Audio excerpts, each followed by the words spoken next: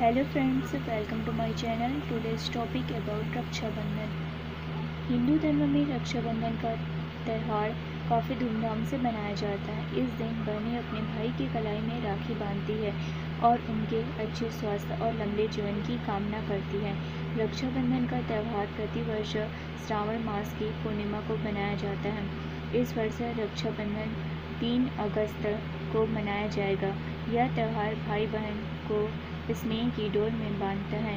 इस दिन बहन अपने भाई के मस्तक पर टीका लगाकर रक्षाबंधन बांधती हैं, जिसे राखी कहते हैं। रक्षाबंधन पर्व का ऐतिहासिक, सामाजिक, आध्यात्मिक और राष्ट्रीय महत्व है। यह भाई एवं बहन के भावात्मक संबंधों का प्रतीक पर्व है। इस बार रक्षाबंधन के लिए शुभ मुहूर्त सुबह आठ बजकर इकतीस मिनट से रात आठ बज के बीस मिनट तक विशेष शुभ मुहूर्त रहेगा। Thanks for watching